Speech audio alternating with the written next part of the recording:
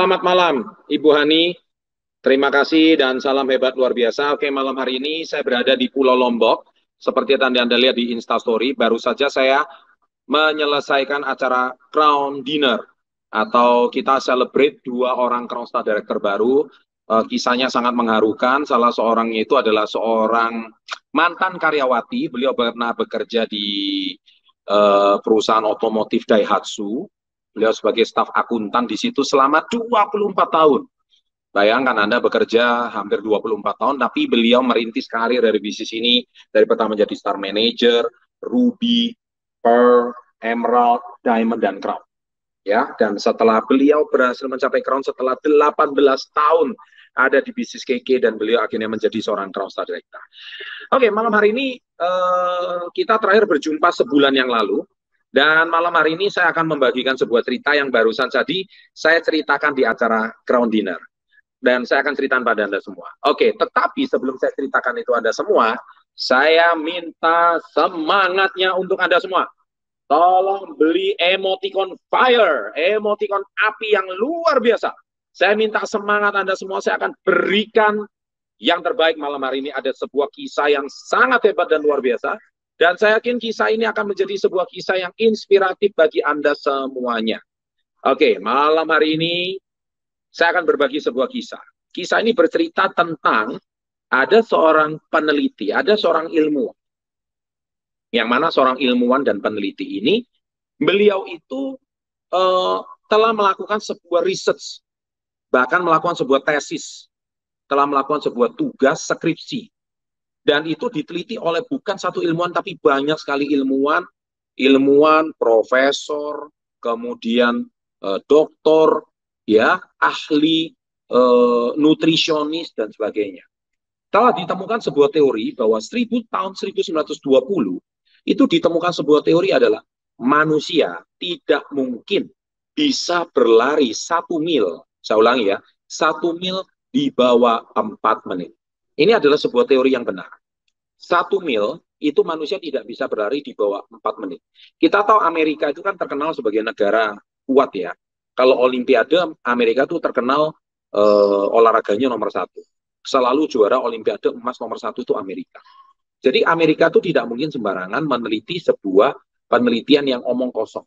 Jadi pada tahun 1920 dibuktikan bahwa manusia tidak mungkin bisa berlari satu mil di bawah empat menit. Itu nggak mungkin. Nah, teori ini bertahan 24 tahun. Tiba-tiba ada seorang pemuda. Pemuda ini berlari. Anda tahu? Dia berlari berapa? Satu mil. Dan cepatannya luar biasa. Anda silakan googling kata-kata ini. Kata kunci Anda silakan googling. Satu mil. Anda tahu dia bisa berlari berapa? Di bawah empat menit. Teori ini terpatahkan. Berapa limit dia? 3 menit 59,4 detik. Wow, keren. Semua teori terpecahkan. Berita surat kabar pada saat itu, pada tahun 1954, semuanya heboh. Anda cek di YouTube, masih beliau berlari itu warnanya hitam putih. Dan beliau ini bernama siapa? Roger Bannister. Tulisannya Roger Bannister. Bannister. Ya, kalau orang Indonesia Roger Bannister. Dalam bahasa Inggrisnya Roger Bannister. Roger Bannister ini mematahkan semua teori-teori yang sudah ada selama ini.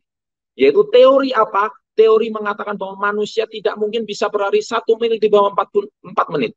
Itu omong kosong. Dia buktikan dia mampu memecahkan rekor itu. Semua mata terbelalak. Break the record. Roger Bannister. Ya kan?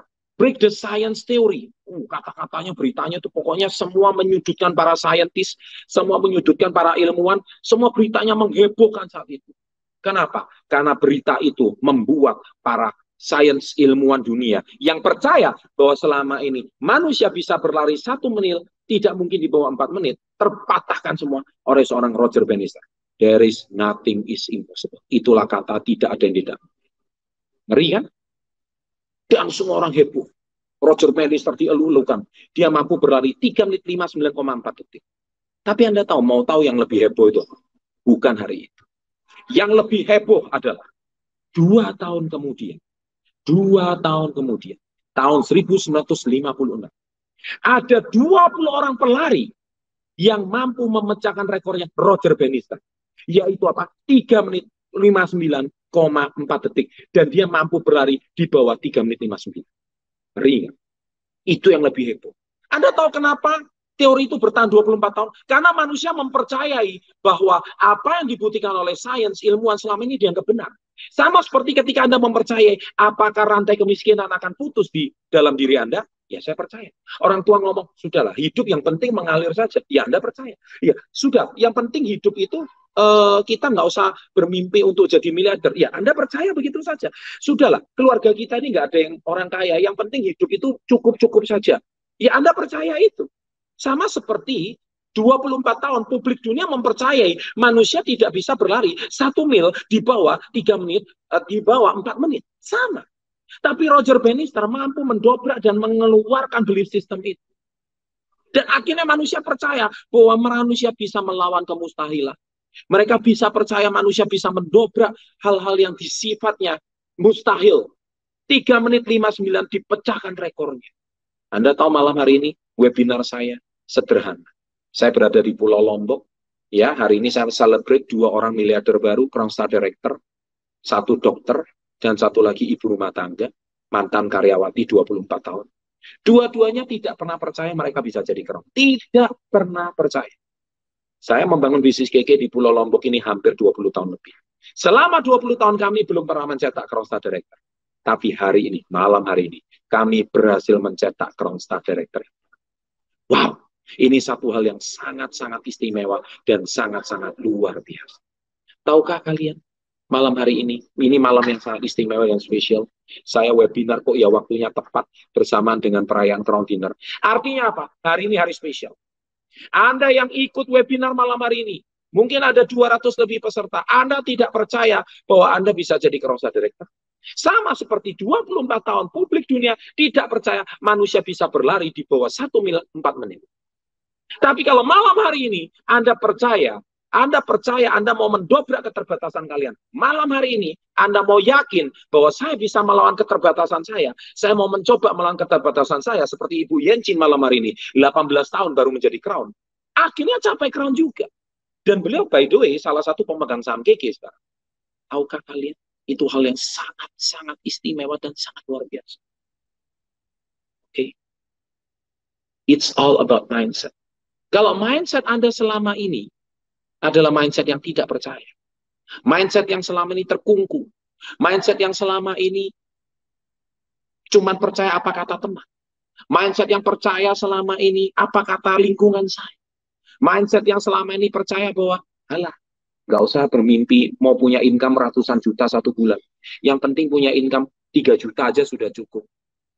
Halah, jangan bermimpi mau punya mobil. Ya kan? Yang penting cukup punya motor aja udah cukup. Alah, nggak usah bermimpi, punya rumah, punya mobil, mau jalan-jalan ke luar negeri Jepang. Yang terpenting hari ini cukup makan aja sudah cukup.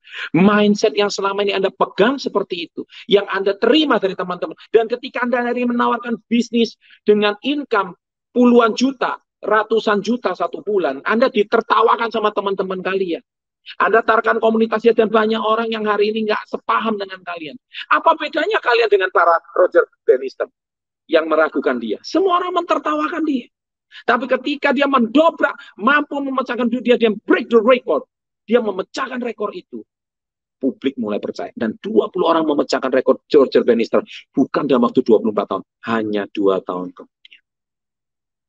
Oke, malam hari saya senang banget mendengarkan uh, respons daripada Anda semua.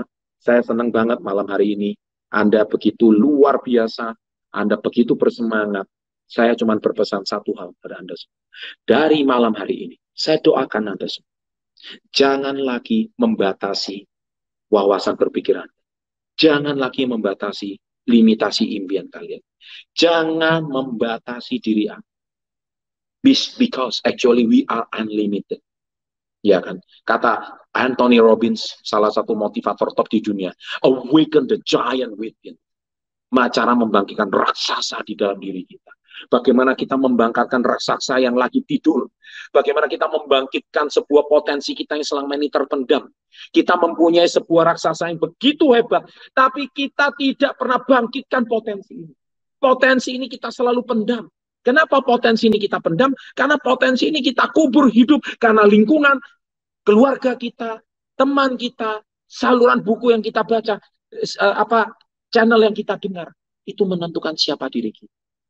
Nah, oleh sebab itu lima teman terdekat kita sangat menentukan siapa diri kita. Lima teman terdekat Anda, isi dompetnya tidak akan melebihi kalian. Tidak akan melebihi kalian. Oke, okay. kalau teman kalian lima orang teman terdekat dengan tukang ngutang, ngutangnya nggak pernah bayar, janganlah berteman sama mereka. Kamu akan menjadi orang yang keenam.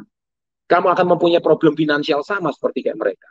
Tetapi kalau hari ini Anda mendengarkan, dengar apa kata mentor kalian. Mentor kalian mengajak kalian untuk berani mendobrak keterbatasan kalian. Berani melawan ketakutan kalian. Berani keluar dari rasa keraguan-raguan kalian. Berani membuat kalian keluar dari sebuah ketakutan yang luar biasa malam hari ini. Bukan kebetulan Anda datang di webinar ini. Saya percaya pembicara-pembicara tadi adalah pembicara-pembicara hebat. Dan kalau Anda mau merasakan sensasi yang lebih luar biasa ini, silakan hadiri Yes I Can bulan November. Nggak lama, tinggal lima bulan lagi. Agustus, September, Oktober, November. Sorry, empat bulan lagi. Kita sebelum ke Yes I Can, kita akan bertemu empat kali lagi sebelum kita akan Yes I Can. Sorry, Amankan dulu seat kalian. Kalau seatnya nggak aman, nggak bisa. Dan akan ada satu produk yang hebat, yang saat ini lagi heboh. Produk ini adalah Vitayang SOP yang bisa membuat Anda healing, glowing, dan traveling. Vitayang SOP ini akan menjadikan Anda Roger Bannister berikutnya. Anda akan menjadi Roger Bannister berikutnya gara-gara Vitayang SOP. Akan banyak ground star, ground star director baru yang akan bermunculan gara-gara Vitayang SOP. Karena Vitang SOP ini dikonsumsi satu kotak, dua kotak, hasilnya langsung segera kelihatan. Yang dulunya wajahnya flek, sekarang fleknya itu sudah mulai menipis. Yang dulu wajahnya berkerut, sekarang wajah kerutannya mulai menipis. Yang kulitnya pecah-pecah, sekarang kulitnya pecah-pecah sudah mulai halus. Dan banyak sekali testimoni yang lain produknya. Jadi saya nggak asal cuma memberikan motivasi. Percuma saya memberikan motivasi, kisahnya keren, kisahnya bagus, mindset Anda semangat, tetapi tidak punya alat, produk, makanya mindset alat mentor. Yang selalu, selalu saya bilang, Anda tidak punya alat untuk wujudkan impian kalian. Alatnya adalah Vita SOP. Saya percaya Vita SOP ini demo, posting, coba konsumsi, ceritakan ke teman-teman kalian, ceritakan pada orang-orang tua kalian, ceritakan pada orang-orang terdekat kalian. Kalau kasihannya bagus, kasihannya luar biasa, pasti produk ini akan sangat booming dan luar biasa. Oke, malam hari ini cukup sekian dari saya. Sukses untuk Anda semuanya. Saya doakan malam hari ini Anda menjadi orang yang terbaik versi diri Anda sendiri. Buat keluarga Anda bangga. Ciptakan sejarah dalam keluarga kalian. Kalian dilahirkan sebagai pemenang. Kalian bukan dilahirkan sebagai pecundang. Kalian adalah orang-orang pemenang dan juara berikutnya. Sukses untuk Anda. Good night dan sukses untuk kita semua. Semoga Anda mencapai impian Anda dalam waktu dekat. Sukses untuk Anda. Be the best, go ground, go 1%. Salam hebat, luar biasa. Ciri-ciri orang Indonesia. Lihat, suka, beli. Lihat, suka, beli. Lihat, suka, beli. Lihat nih, hmm, suka nih, beli. Nah, lihat lagi, suka lagi, beli lagi. Oke, baik. Tepuk tangan dulu teman-teman ya. Wah, saya sangat semangat banget ya. Wah, Pak Chandra Negara ya memberikan motivasi yang sangat luar biasa teman-temannya pada malam hari ini. Ya, kita sangat berterima kasih ya, terutama teman-teman sangat beruntung yang mengikuti pada webinar pada malam hari ini ya. Bisa mendengarkan Pak Chandra bicara langsung ya. Wah. Nah, jadi teman-teman ucapkan terima kasih kepada Pak Chandra ya. Wah, luar biasa. Api-apinya mana teman-teman ya. Oke, nah jadi uh, tadi kan ada jelaskan juga sama Pak Adriante ya, yaitu mengenai mindset, Allah dan mentor. Nah teman-teman, tadi sudah cukup uh, detail dan cukup uh, dipahami ya, bisa dipahami, uh, cukup uh, apa namanya ya, uh, sangat pas uh, Pak Chandra juga ya, Pak Chandra juga tadi membahas juga ya mengenai it's all about mindset. Nah semuanya ada di buku Success Quality teman-teman ya. Nah, teman-teman bisa hubungi ke pengundangnya ya. Nah, ini edisi keduanya teman-teman ya. Jadi kalau suka nonton SB30 belum punya buku ini, itu rugi banget teman-teman ya. Nah, Pak Chandra punya bukunya SB30. Ini edisi kedua, lalu yang edisi pertama. Nah, edisi pertama itu adalah Badai Pasti Berlalu ya. Nah, ini kisah Pak Chandra perjalanan dari awal ya dari uh, bukan perjalanan dari nol lagi, bahkan dari minus ya sampai hingga uh, menjadi Pak Chandra yang seperti sekarang, teman-teman ya. Nah, semuanya ada di buku Badai Pasti Balo. Teman-teman wajib punya ya. Nah, jadi bisa hubungi pengundangnya juga ya, bagaimana cara pesan kedua buku ini. Oke? Nah, jadi terima kasih teman-teman sudah hadir pada webinar pada malam hari ini. Saya tutup aja. Selamat malam, selamat beristirahat, dan salam hebat luar biasa.